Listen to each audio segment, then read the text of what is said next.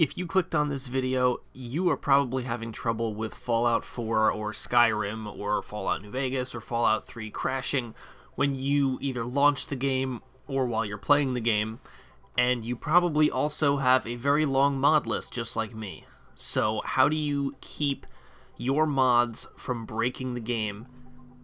It's actually pretty simple. All you need to do is get the load order optimization tool. It's called Loot. Uh, you just click on this download button and you get an installer. After you install it, it can either be run directly from Nexus Mod Manager or by launching the program on its own.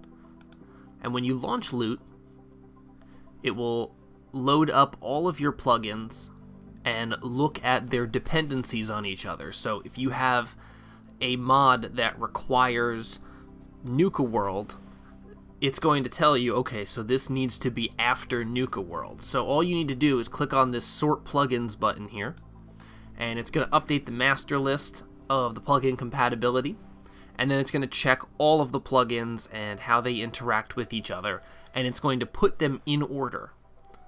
I don't think this is going to have to reorder mine because I've done this recently, but once you get up towards, you know, 250 mods like I do, you're going to have some conflicts, you're going to have some things that just aren't working. And, you know, sometimes crashes are caused by, you know, your particular computer. Uh, your hardware might not be what it needs to be. You know, if you have a really high, a high resource like ENB mod, you might just not be able to run it. But this will fix a large majority of the problems that you have with plugin compatibility.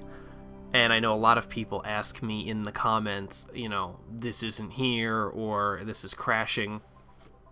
This is your number one thing to go to and if fixing your load order doesn't work, then you pursue other avenues, maybe ask the mod author in their topic.